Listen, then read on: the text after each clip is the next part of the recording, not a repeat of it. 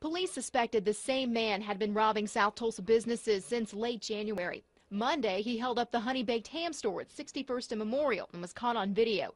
These images confirmed investigators' suspicions. They have a serial robber on their hands. What he does is come into these uh, businesses and orders like a sandwich or, or asks for an application, uh, has some sort of contact with, with the desk personnel, and then shows them a revolver. and we had just filled up the display cases with the new all the new product.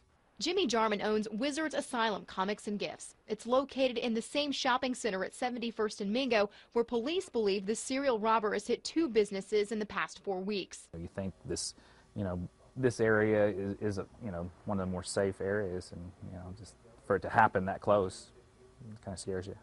Jarman just finished installing new security cameras because of his own brush with crooks. Saturday morning, his business was burglarized. $20,000 in merchandise was stolen. It was like a you know they were doing a shopping spree. They took magic, board games, just skipped around and picked stuff they liked. Police are also looking for a pair of Hispanic teenage robbers targeting businesses in East Tulsa.